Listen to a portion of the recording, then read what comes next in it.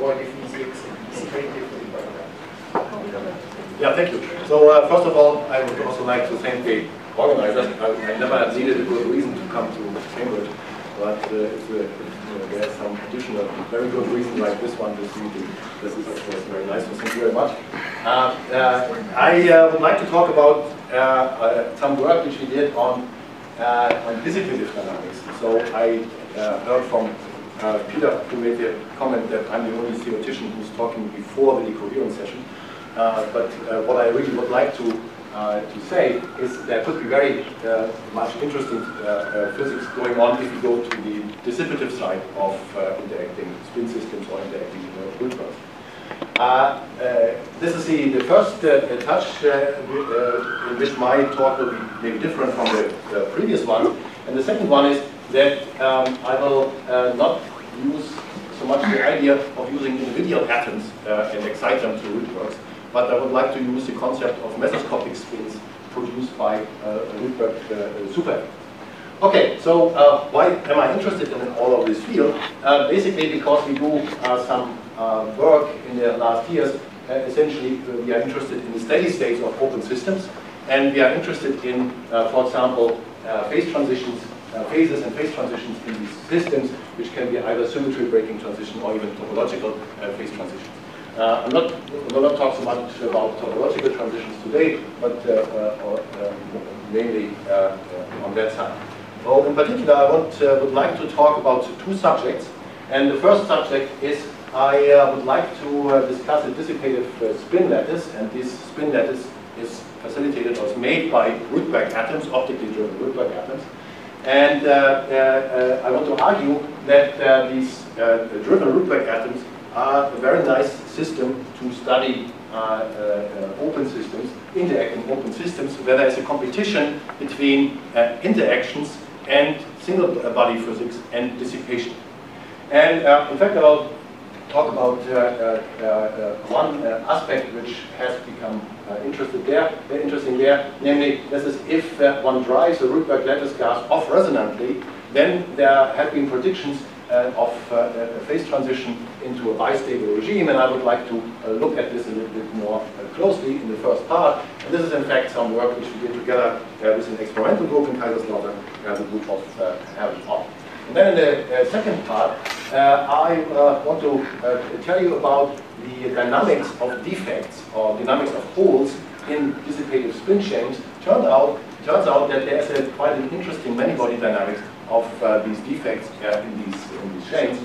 And this is some recent work which we did together with David uh, and we have some arXiv paper if you are. Okay, so but uh, uh, all of this has to do with uh, Rydberg anti-blockade and excitation facilitation.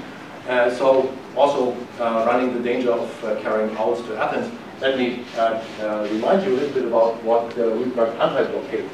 So if you consider the Rydberg atom ground state with a, with a state and you drive it off resonantly, uh, then the single atom will be excited only with a very, very small probability. Uh, it happens once in a while, but, but not very likely.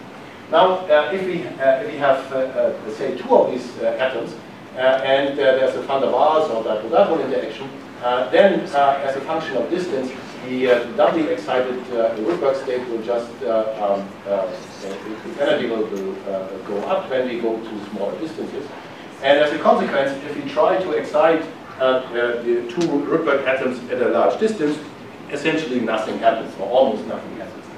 The same is true if you go to very small distances, because there we have a Rydberg blockade, and uh, the uh, excited state is shifted uh, so far out of resonance that uh, nothing can happen. But as you can see, there is some space in between where there can be either the two-photon transition into a doubly excited state, or uh, so we can have uh, pairs of excitation, or it turns out to be even more relevant is a cascaded excitation, where with a small probability, the first atom gets excited, and then once the, the first atom is excited, uh, uh, it will always find the second one in, in the right uh, uh, distance, uh, which is uh, now shifted into resonance, and then there will be a cascade of interactions running all through this sample of atoms.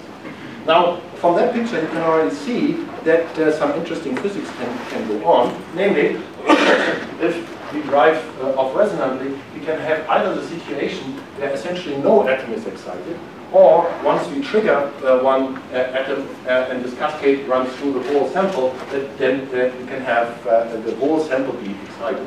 And that actually brought up the question, can there be bistability in, in such systems? Okay, to make this argument a bit more um, solid, uh, let me uh, consider um, a model, a very simple model, namely a one-dimensional spin lattice, or Rydberg lattice, which is driven by an external laser field. There's a dipole interaction or counterbalance interaction which we reduce to the next nearest neighbor, and there's some tuning uh, which shifts in the laser out of resonance. Now, uh, under the conditions of anti-blocking, namely where the interaction between two neighbors just compensates the detuning, uh, then you can immediately see that this model can be mapped to the uh, transverse field uh, uh Ising model. And, um, and this transverse uh, field Ising model, um, you may say, is fairly uh, simple. And in particular, if you go in the, into the ferromagnetic phase, where the uh, transverse field, which in our case is just a driving laser, is uh, very weak, then the ground state of this, this system is just a, a fully polarized ferromagnetic uh, state. Uh, however, there is some uh, interesting things going on. For example, uh, Calabrese et al. had looked what happens after a quench. So if I suddenly change the, the, the, the field strength, but still stay in the, in the ferromagnetic case. What they found is that after a very long time, uh, the, uh, uh, the average uh, spin polarization actually always goes to zero. So you have an, an equal uh, probability of having finding spins up and down. And the, re the reason for that is uh, also fairly simple. Let's assume that this, this h is not zero but, but small, and then the, the, the state, the nail state where all spins are down has some energy E naught, and if you create one excitation, then we have to provide uh, this uh, uh, interaction energy. But now the interesting thing is, uh, if uh, as soon as this happens, you see that it doesn't cost any energy to add a second, uh, uh, uh, to flip a second spin next to it, and then the next one next to it, etc. So what we see is, as soon as we create two domain walls, such spinons, these spinons basically move through the system very quickly, and as a consequence, uh, on average, you will see that, that uh, half of the particles are up and half of the particles are down, and that explains this result. Now, if we add dissipation to the game, then something else can happen, namely, um, uh, the excited uh, uh, spins can uh, flip down.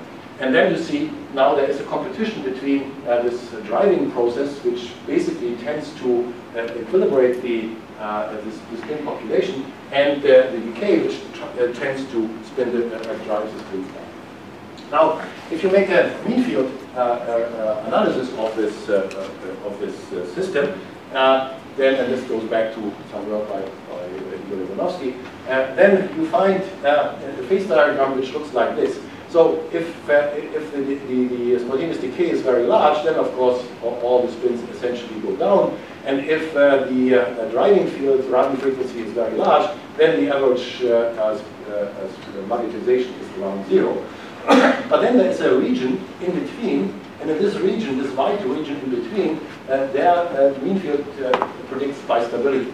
Uh, uh, so it gives a, a, a, solution for the mean um, uh, magnetization, which has actually two stable and one unstable solution.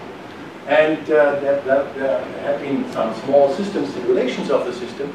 And uh, what uh, these simulations showed is that indeed, if you crank up the, uh, the laser field, then you, uh, uh, you can you basically move along this line here. Uh, you first are in the, in the, system where everything is de-excited, but then you come in in, into a situation where uh, there is an, a flipping between a situation where spins are down and spins are excited. Basically, they, they, they and then if you drive it very, uh, very strongly, then you go into the regime where basically all spins uh, rotate.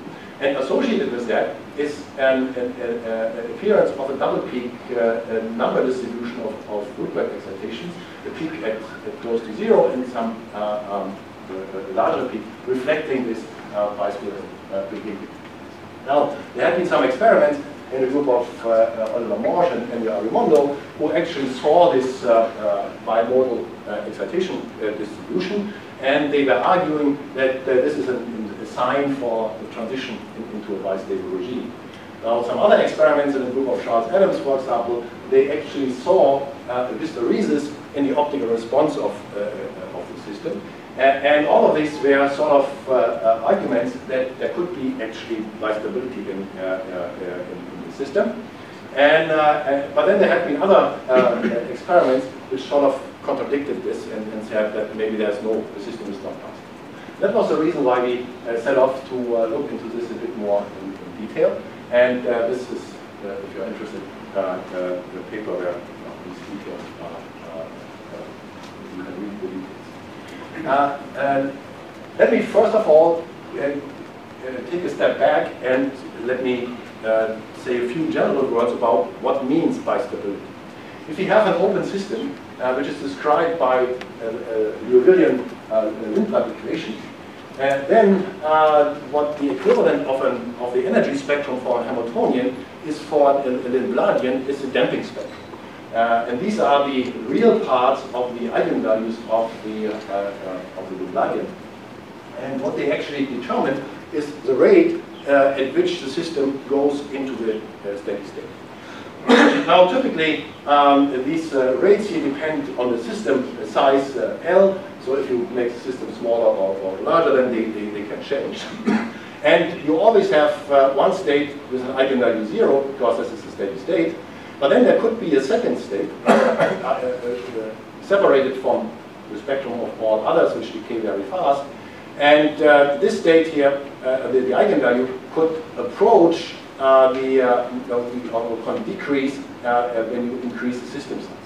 Uh, this I would call a metastable situation um, because um, most of the ex excited states decay very quickly into the, into the steady state, but some of them have a long lifetime and, uh, uh, and, and stick for time. Uh, And in contrast to that, uh, bistability means that one of these eigenvalues uh, in the thermodynamic limit, where the uh, system size uh, goes to infinity, actually becomes degenerate with the, uh, uh, the steady state. In that case, we have really two degenerate steady states, and that's what I call uh, bistable. And uh, if we want, if we are interested in, in, in, seeing some phase transitions, then actually we need uh, to go into this regime of, uh, of Now, uh, there's some, actually some nice work in the group of uh, Garrahan and, and also Janowski who discussed uh, the, what metastability basically means. What it says is that if I start with any sort of initial state, uh, uh, then uh, I will very quickly run into one of the two superpositions of the true ground state, the true steady state, and this first excited state and uh, they will uh, live for a very long time, and only at a very, very long time, uh, essentially, everything goes back to the state closing. Now, um, I, I, would like now to make one argument. I would like to show you that if the system is truly bistable, then we need long-range correlations. And uh, since this argument is very simple, I uh, thought I, I uh, uh, uh walk you through this. Uh, so let us assume that our system has two steady states. So two-fold degenerate steady state, O0 and O01 and O02. So in general, the steady state will be some convex um, um, convolution of the two, where the probability P here depends essentially on the initial state. And well, if we say that we have two different uh, steady states, then we assume that there is some local observable where we can tell the one from the other. Right, so now, now let's, uh, without loss of uh, generality, let's assume that we measure some local quantity, uh, let's say xj, and in one state it, it, has the value plus 1, and the other state has the value minus 1. now, uh, if you construct the quantity, which is basically uh, the, uh, Uh, uh, uh, the correlation uh, the uh, cross correlation of, uh, of these observables, then by construction, the, the expectation value of this y here is a positive quantity. Now, by simple algebra, it's a simple triangular inequality, we know that the sum of these of these pair uh, uh, expectation values is larger than the sum of the two uh, two uh, uh, expectation values. And if you take the expectation value in one or the other of the two uh, steady states, then this one here is always plus 1 and this is always uh, also always plus 1, or this one is minus 1 and this is also minus 1. So both uh, come up to uh, L and so the product is L squared. if you take this general steady state instead, so we have a convex, um, um, convex sum of, of one, one and the other, then we have the expectation value in one of the two, the two states and one in the other. And uh, uh, just by making use of this, one finds that this is larger than L squared. Uh, and uh, as a consequence, if I now uh, uh, take, fix one of the two coordinates, say at zero, and look at the sum of these cumulants or the, the correlations with the this first index zero, second index then I find that this has to be larger than L times something which in general is non-zero. This is only possible if the correlations are infinitely long range. Because otherwise, the sum, if there's an exponential decay, the sum will always be finite, and uh, it will never scale with the system size. So this simple proof essentially says that if the system is bistable, we have to have long-range correlations. Now, since the, the uh, uh, uh, speed of sound or the speed at which correlations can, can propagate in any system is finite, it also says that we have to have diverging correlations. okay, so uh, this was basically the, the starting argument, uh, and uh, we, not we, but the group, experimental group of Herwig they set up an experiment. So they had a, 3D optical lattice with about 20,000 Rydberg atoms and put them in a Mott insulator and uh, then shined uh, a CW uh, laser light on it, so excited it off resonantly, and then detected essentially the ions, which gives an indication of excited Rydberg atoms. And one can do this for very long times, or over a couple of hundred milliseconds, in fact, until uh, uh, all the uh, atoms are gone. And they, they measured the two-time correlation function and extracted essentially two parameters, namely G2 at, uh, at zero and uh, uh, the, the, correlation time on this, on this form. So this is actually the view of the, of, of the experiment.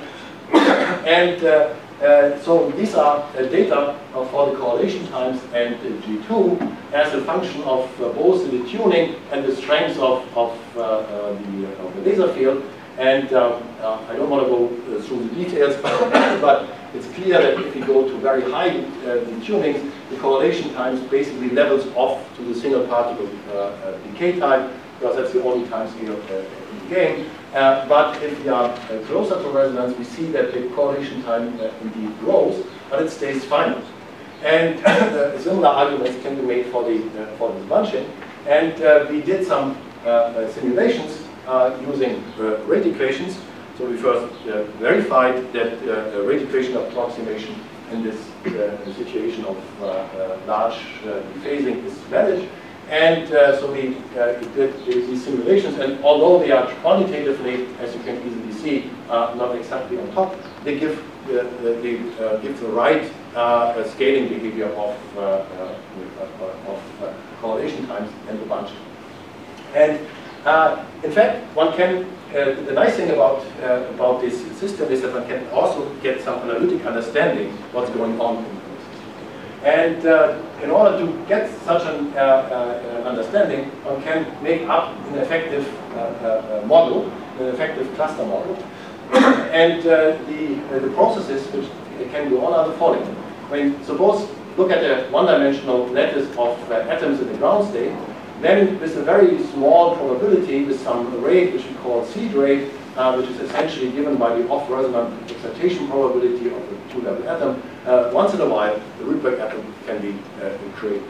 Now, if the Rydberg atom is uh, created and uh, the interaction is just tuned in such a way that it compensates the tuning for the nearest neighbors, then what will happen uh, uh, next is that either this neighbor or this neighbor uh, get very quickly excited and with a precipitation rate which uh, which has now this, this uh, much uh, reduced detuning due to the interactions.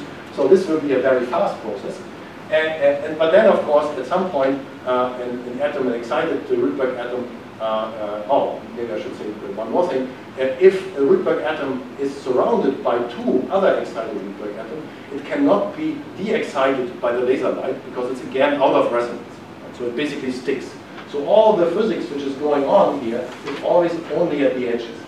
Uh, unless a spontaneous emission happens, and if spontaneous emission happens, which again is on a slow time scale, then the atom can be de-excited, and then we create a hole uh, inside this uh, uh, uh, inside this chain. And again, this hole cannot be filled because now there are two neighbors which again shift this, uh, the resonance of this atom in the center out of resonance. one is exactly, one is enough to, to tune it into resonance, but two shift it out. Now, uh, out of this, one can uh, uh, make a, model which basically has the following features. So this here is the cluster size, meaning the number of excitations, and on that axis, that is the, the number of domains which we have, which are separated by an empty by an empty side. And uh, uh, one can then easily uh, see what's going on. There's this seed process which comes from zero excitation to one excitation. Then is the, the facilitation dynamics, uh, and uh, we have uh, spontaneous processes going on. And if we take all of them together, we can make up a very simple effective model. And this effective model now basically describes the evolution along the uh, um, one-dimensional uh, manifold uh, of the number of excitations. So uh, you move, basically make a random walk here along this um, one-dimensional uh, effective, uh, uh, effective one-dimensional model labeling the number of Rydberg excitations that we have in the game. Now, if we take the, if we calculate, for example, the correlation times, so the time until the second order correlation function goes back to its back to one, um, and we can do this either by uh, full numerical simulations or by this effective cluster model, and you see that uh, uh, works uh, quite perfectly.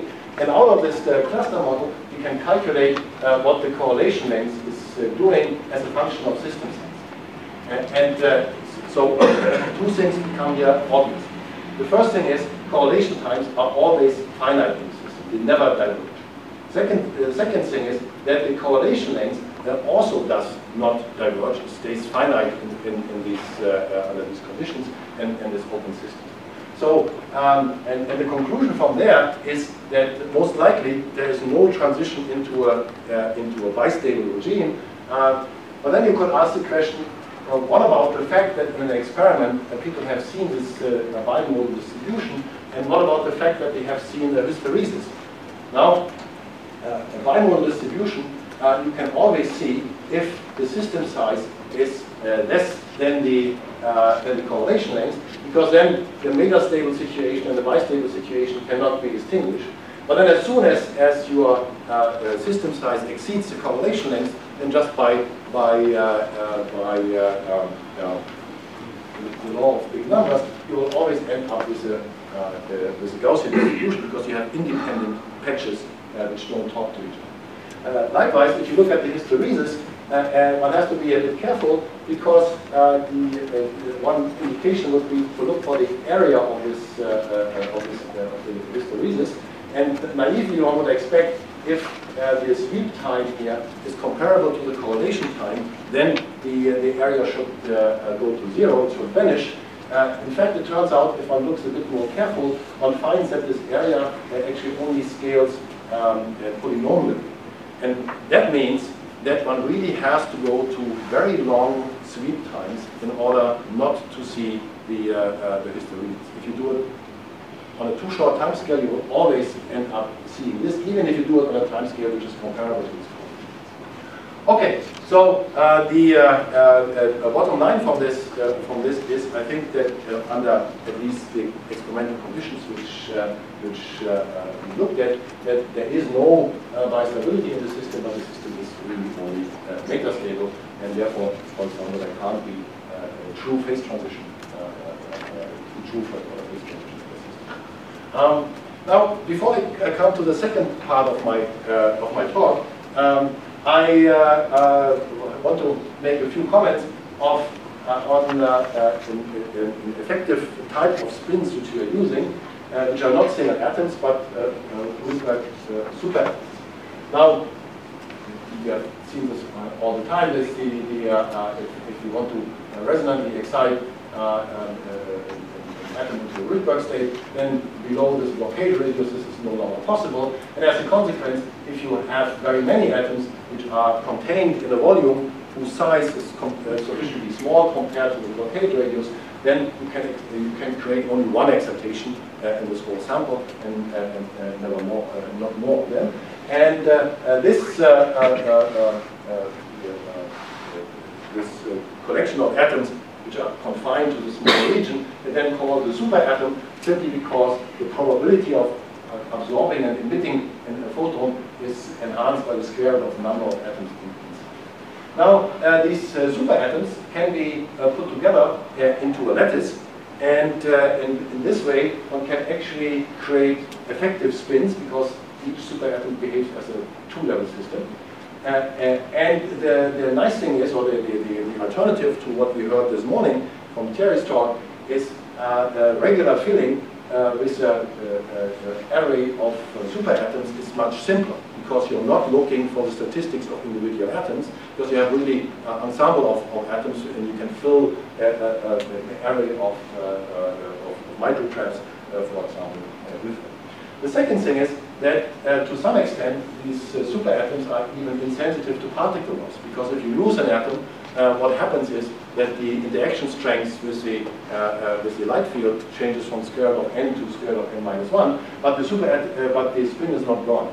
So this is uh, maybe another uh, uh, advantage of using superatoms. I would like to make a little bit of advertisement for, for, this approach.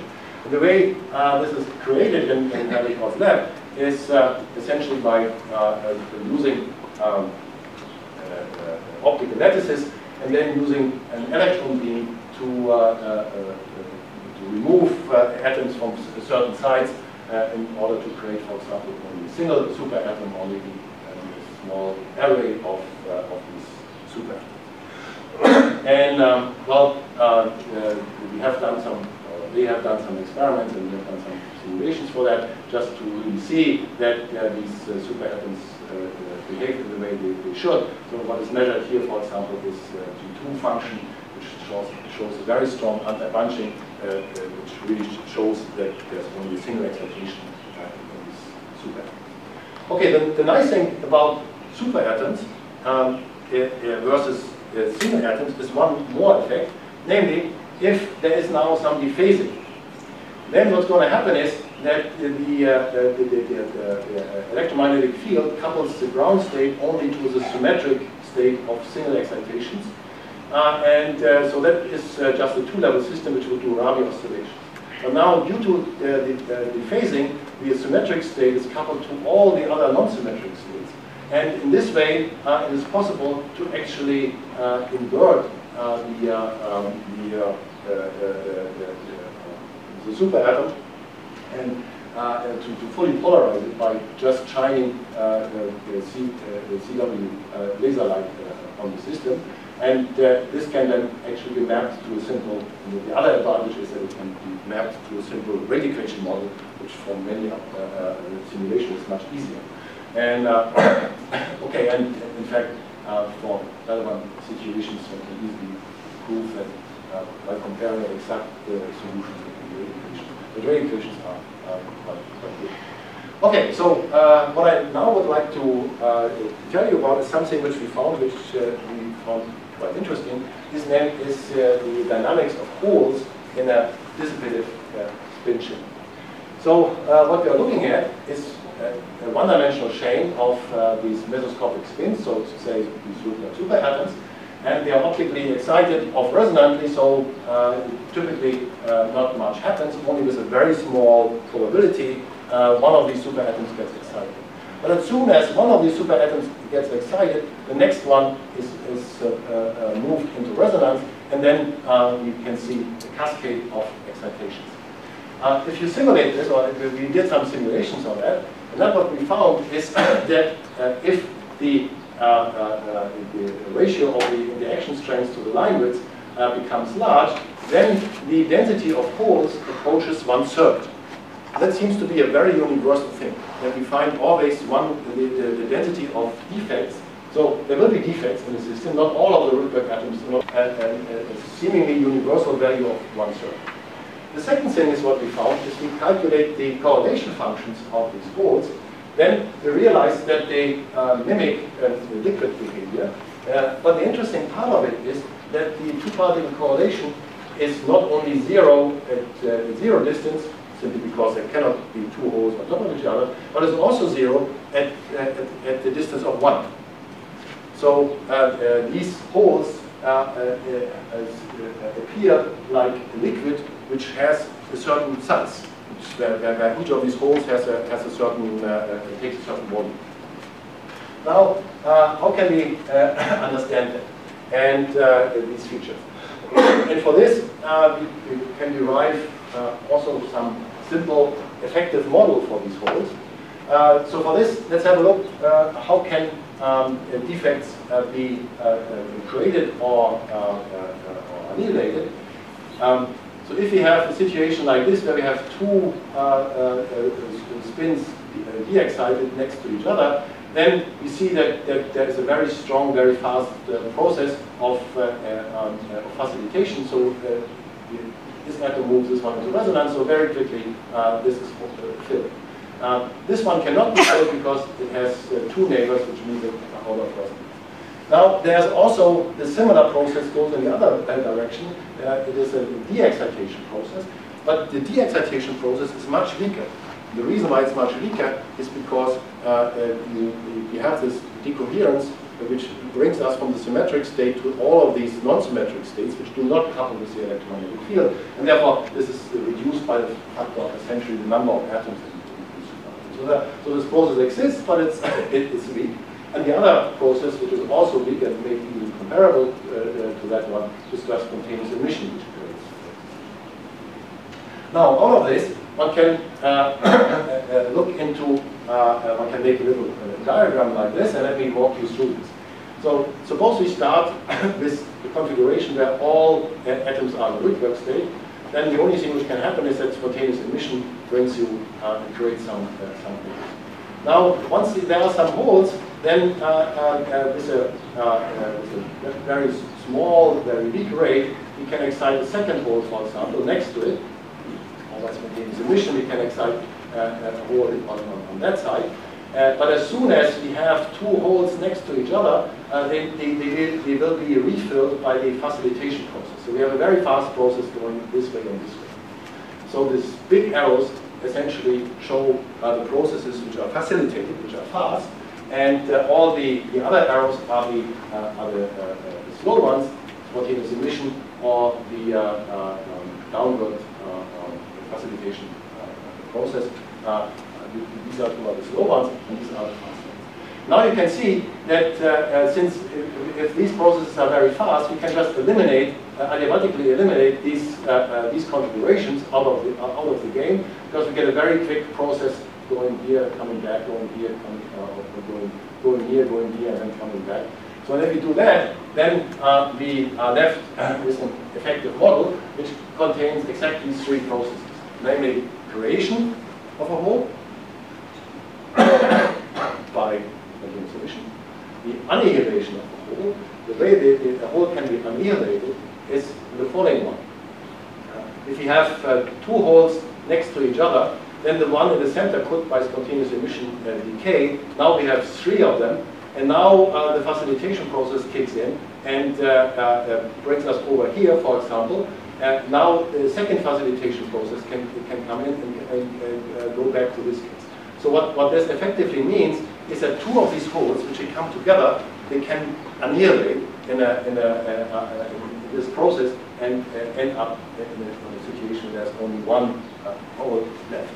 So this whole many-body dynamics of these holes is now um, a competition between these two processes, creation and annihilation. And then also can be transport, because if you uh, um, uh, uh, see here, then we can, via this channel, the hole can move from, from this side to the next side, so there's also transport.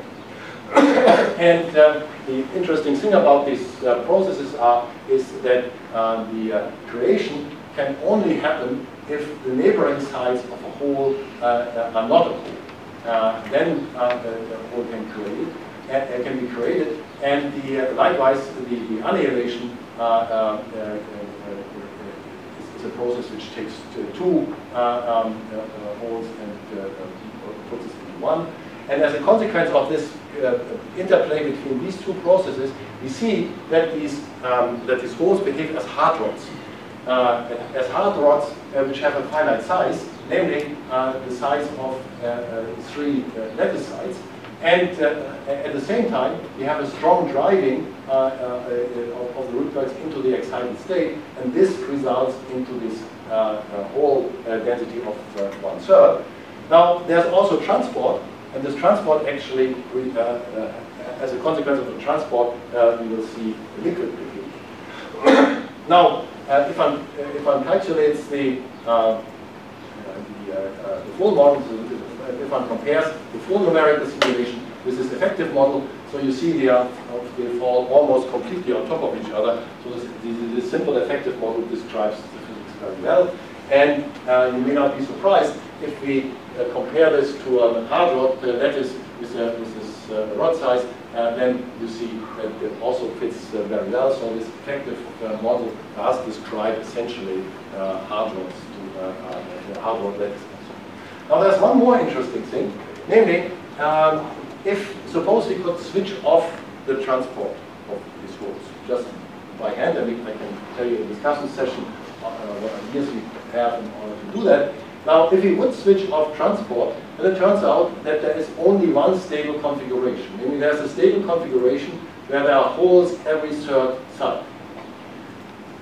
In such a configuration, no hole can be created because, for example, if, if, if uh, this atom here uh, uh, uh, uh undergoes spontaneous emission, it will be immediately be refilled by the facilitation process. Also, uh, this hole cannot be filled because these two uh, atoms at the side move it out of uh, resonance. So uh, this is a, a, stable configuration, and, uh, and the, the, the, distance between the holes is exactly three lattice sides, explaining the density of one third. And uh, one would uh, find a Mandel Q parameter of the, of the holes of minus one. Now, if we add some transport, then uh, these uh, holes can move around and then eventually they can uh, annihilate and that leads, gives rise to some number of fluctuations. Uh, but uh, surprisingly, we find that the hole density, even if you tune the transport rate and make it very small or make it very large, the, the, the, hole density stays almost uh, at the level of one third. And the Mandel Q parameter, also in the in for large transport, stays very small. It's, it's much below uh, minus 0.8, so it's a very subcorresponding, very strongly suppressed uh, number fluctuation. Um, and if we look at the uh, correlation functions and change the transport uh, uh, uh, rate versus the creation rate, for example, then we see if we make the transport going down to zero, so we go to this side, then we end up in a crystalline phase uh, with, an, with, this, uh, uh, um, with a spacing of three lattice sides, and, um, and this can be seen, for example, in the correlation amplitude at, at this point, which grows up here at, this place. While if you go into the other direction, we end up into a liquid phase, which, uh, interestingly enough, has a peak of the two-particle uh, correlation functions, not at distance uh, 3, but at distance 2.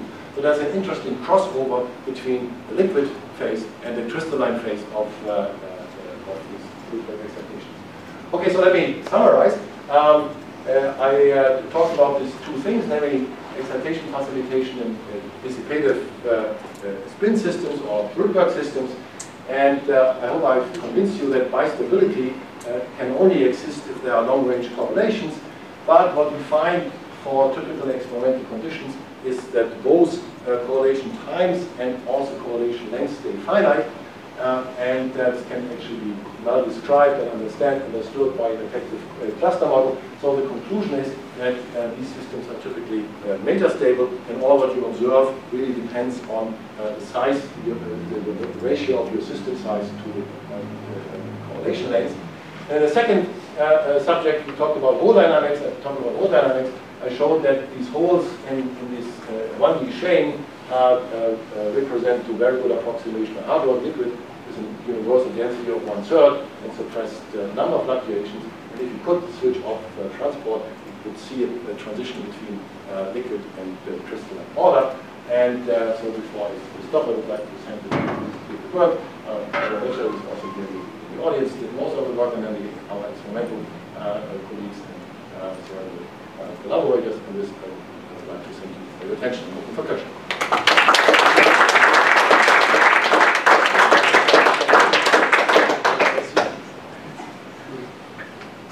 So at the very beginning of your talk, when you talked about the bistability, you talked about superposition of density matrices, but this is really a classical mixture. Yes. Okay. Have you ever thought about sort of the situation or bistability, I'm not sure to call it like this, where you got the whole decoherence-free subspace, there you can take any quantum superposition between these two, and then you have sort of the classical mixture here. It's actually stable, it's sort of, in some sense, this would be interesting for dissipative quantum error correction, for example, that by this kind of dissipation you keep things within a certain Hilbert space. So in that sense you would have the steady state, which is not only the mixture of the two density matrices, but you would have sort of you know, many superpositions that would actually be dark It would be possible steady states, including the pure states.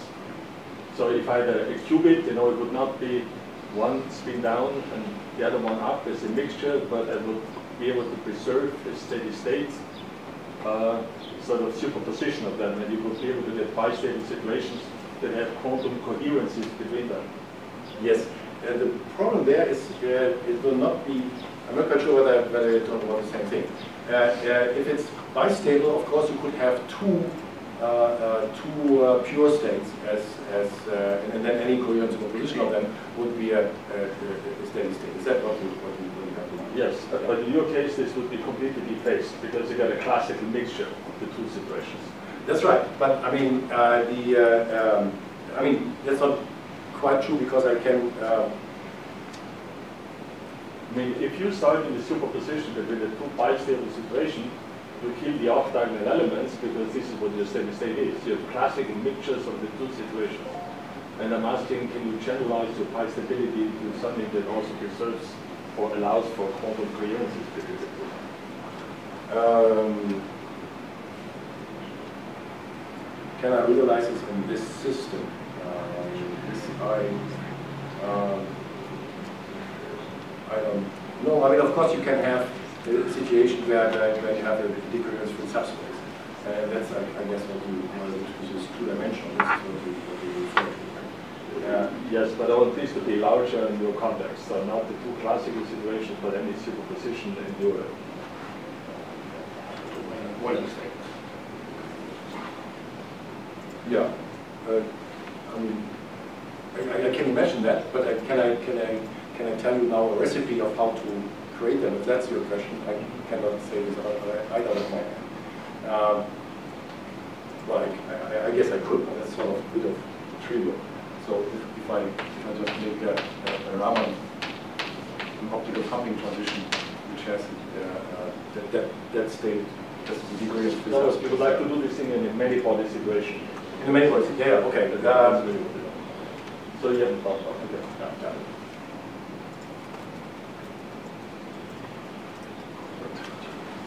Uh, yes, so concerning your second part, uh, where you have this uh, facilitation mechanism, which leads, for example, to this holding uh, and so on.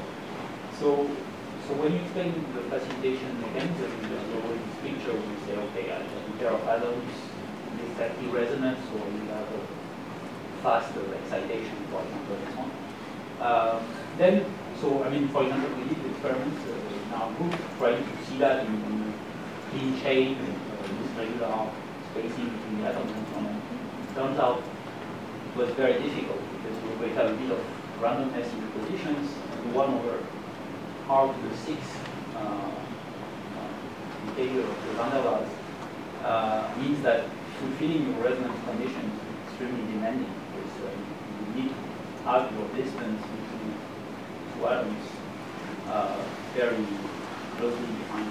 So have you considered that in your model? Because I guess with super atoms you have even more uh, like position in randomness and so on, or is it something that is somehow compensated for by the fact that you are in this dissipative regime? Or? I mean, uh, for the for the superatoms, of course, you have uh, uh, um, you have an averaging of what, what is. So you produce an additional line width if you, if you want uh, by by the fact that that you are uh, exciting in, in a cloud of atoms which is a finite size. Now, what you're saying about the, the uh, um, uh, about the sensitivity uh, versus the tunings, that very much again depends on what your line width is of the of, of the transition. so if your line width is large, then you can afford to have um, quite some position uncertainty without having without creating any problem. So it, it, depends. In that case, the line is given by the in this case, it is uh, given by, by the phasing. That, that, that's uh, what, what, is, what is dominating. And, uh, and there, uh, it is not that, not that sensitive. It is really just a matter of a question of, of how to compare this, this, this range. Is this dephasing somehow artificially introduced, or where does it come from? Ah. Well, I guess that's some, some of the question which maybe is going to be addressed in this dephasing uh, decoherence session. Uh, I, I, think this, this issue where, where dephasing in this, this uh, system comes from is, at least as far as I understood, is not completely resolved. Uh, uh there are many, many things which There's something special about this. usually it's not like this in experiments. That's not true. In the experiments which, which we have done in our how people have done in the, in the in that uh, one. Yeah, it, it, it, yeah, yeah, it, it seemed to to uh, dominate. I don't have the you, you know the numbers or whatever we had. Uh, it's rare in the experiment. Uh, so uh, anyway, so so uh, what we found is that the that the uh, um, uh, rate equation simulations fit very well to what we see in the experiment.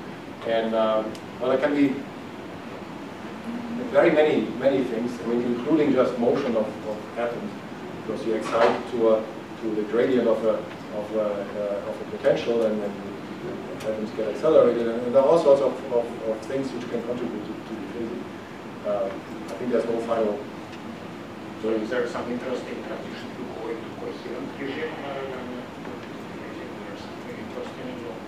Oh, certainly. Uh, I mean, um, the, the what I, would what, what I wanted to advertise is that uh, uh, even if uh, we are not able to solve the decoherence questions, which will be subject of the, of the, the, session, the session tonight, there is uh, quite some interesting uh, physics going on in, the, uh, in, in, this other region. Um, if, if we wanted to, to see uh, coherent dynamics, then we have to go to shorter timescales, and we have to go to, uh, uh, to other processes like the, the mixing of, of two different duplex states and all this that we have uh, this morning, so very definitely.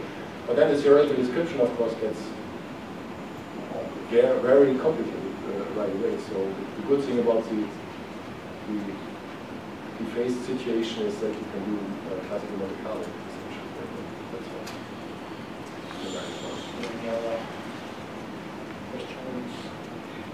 Just maybe no. Sorry, let me ask you a question. I think so. So, there, so can you? I'm sort of wondering what's the connection between Trey's talk and the first part of your talk? Because basically in the first part, in, in your model, you, you neglect this kind of processes. In reality, you know, as we learn from Trey, you can just not ignore them, right? Well, so, the, the, nice thing about at least this, uh, this and, and, and this kind of stuff, this this cascading property produced bistability for sure. And, uh, and it goes stability produce this kind of, you know, uh, uh, bimodal behavior? Uh, the, I, uh, the, the thing, I mean, I would actually like, you, you was the connection of the first part of my talk to, to Trey's talk. Actually, more. let me, let me take start with the second one, because that, that is probably easier to, to address. Um, the, uh, you see in, this, in the superatom picture, due to dephasing, you anyway get uh, always transitions from the uh, state which you optically excite into some other states, which still have uh, uh, van der Waals interactions. So if you think of replacing this by a blackbody transition into a, in, into a, a, different state, of course, as soon as you get transport of excitation, of SP flipping, that's a different story. But if you get uh, a uh, uh, or some other process bringing you into another Rydberg state, which still has the uh, uh, Rydberg, Rydberg interaction, it does not change much to this picture. What the interactions change if you go to If, you get this flip-flop interaction, then, then you, you get a new type of interaction. But there are two effects, right? And then if you go into, an, uh, into another uh, Rydberg state, uh, there- there's the van der Waals uh, uh, interaction and, and the flip-flop. Um, if it's only the, the van der Waals, it doesn't really change much on, on, on this picture uh, because all what you do is you, you uh, uh, modify essentially these, uh, these rates.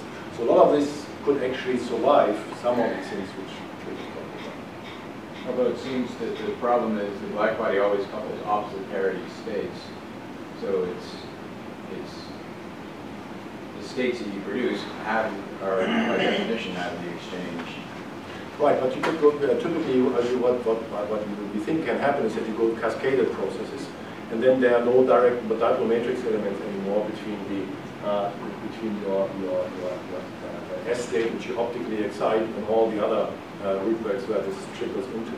And then, the, then what is left over is, is essentially the, the, uh, the, uh, uh, the the, the direct process is, is suppressed. But you, but you go through the dipole, you go through this, this uh, that's true. That's true. So, and, uh, and So this all happens on the wall text, that you, like all of these experiments, they are going to be the same text. Uh, Yeah, well, I mean, the, the whole experiment is done on, on a couple of hundred millisecond uh, time scales. Yeah, I mean, all the way. Uh, But, but of course, the correlation times which are measured are still in the microsecond uh, regime. Uh, You can see, so the typical correlation times are here, uh, this case, maybe 100 microseconds. So what's the principal function number? This is uh, 25. uh, This is a, also, this is a single photon, no, I didn't say this. This is a single photon transition into, into uh, you- So this time scale, uh, what's this time scale? This one, this, On- This is the the correlation time, which is on, now here it's about uh, 100, uh, 100 microseconds maybe reading off from, from that paper, uh, from, from this curve. But then the lifetime, the whole experiment is, is, can be done over times of uh, uh, um, uh 100 milliseconds. Uh, because, I mean, after 100 milliseconds, of course, the atoms will go away.